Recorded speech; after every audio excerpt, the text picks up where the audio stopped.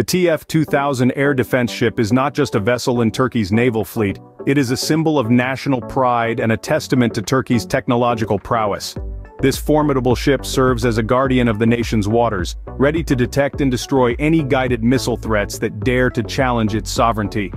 The TF-2000 is more than a ship, it's a powerful statement of Turkey's commitment to defense and technological advancement. With a displacement of 8,300 tons, this ship is designed to be swift and agile, boasting a CODOG configuration that allows for a speed of 26 knots.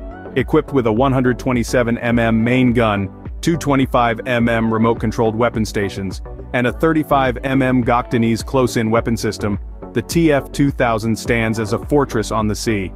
It is a testament to Turkey's dedication to innovation, marrying advanced technology with military strategy. With the recent updates, the TF-2000 is set to become even more formidable, further solidifying